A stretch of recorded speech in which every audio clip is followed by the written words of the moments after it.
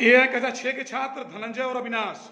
इन्होंने अपने छोटे भाई बहनों के लिए एक ऑटोमेटिक बैटरी कार बनाई है। बेटा कैसे बनाया इसको बताओ? मोटर है। इसमें हाँ, मोटर है है, बॉटम है। बटम है बैटरी है चक्का है। अच्छा मोटर से तुमने क्या किया है? पहिए को अटैच कर दिया है। जोड़ दिया है। ठीक। थोड़ा इधर दिखाओ इसे इसे। हाँ। यहाँ पे मोटर लगाया है हाँ शाबाश बहुत अच्छी चीज़। हाँ। है, तो ये ऑटोमेटिक चलेगी? अच्छा उसको आन करके बस ज़मीन पे रख देना, वो चलने लगेगी हाँ?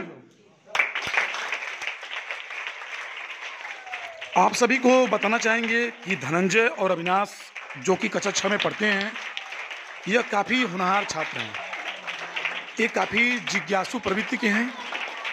इनके अंदर कुछ हमेशा नया करने की चाह रहती है। और इसी कड़ी में इन्होंने यह स्वचालित बैटरी कार का निर्माण किया है। इस कार के निर्माण के पीछे इनका उद्देश्य यह है कि इस कार को यह अपने छोटे भाई बहनों को बर्थडे पर गिफ्ट करेंगे। इस कार को बनाने में शून्य निवेश नवाचार का इन्होंने ध्यान रखा है। किसी भी पुरानी बैटरी और ढक्कन के पहियों से यह कार बनाई जा सकती है।